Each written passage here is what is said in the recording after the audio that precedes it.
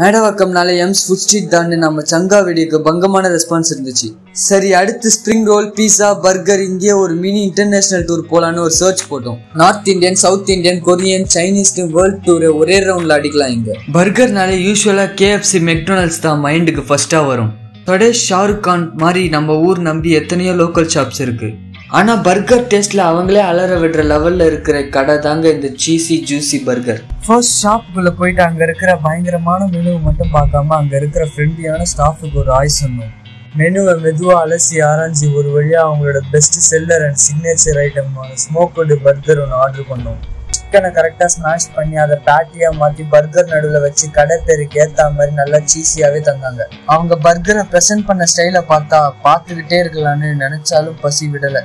கூட வந்த ஃப்ரெண்டு ஒரே பர்கர் ஆர்டர் பண்ணாரு. ஒரு வழியா அதுலயும் பங்கு கேட்க வந்துட்டான். ஸ்டைலா சாப்பிட வேண்டிய சீஸ் ஜூசி பர்கரை கடைசியில பார்டர் கொத்து பரோட்டா மாதிரி சாப்பிட்டோம். கேஸ்ல கேஎஃப்சிக்கே டஃப் கொடுக்கும். பில்ல காஸ்டையும் கொஞ்சம் சேவ் பண்ணி கொடுக்கும்.